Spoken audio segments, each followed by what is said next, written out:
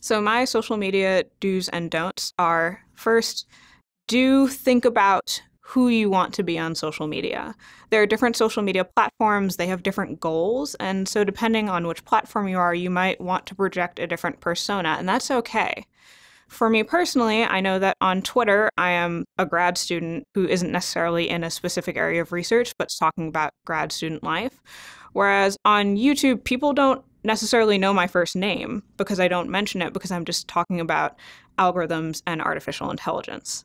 So think about the ways that you want to present yourself.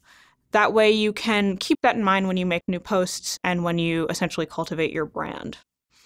My don't would be don't freak out if you post something that gets a negative reaction.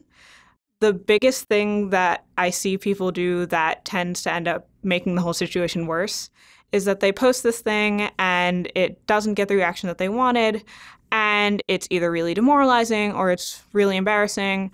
And it's totally fine to feel that emotion because that's totally reasonable. But I don't think that you should take it so personally that it changes who you see yourself as as a person. You should, if it was a mistake, correct the mistake, apologize if you need to, delete whatever it is that you posted, and use that as a learning experience to make sure that the posts that you're making in the future better align with whatever it is that you were trying to convey.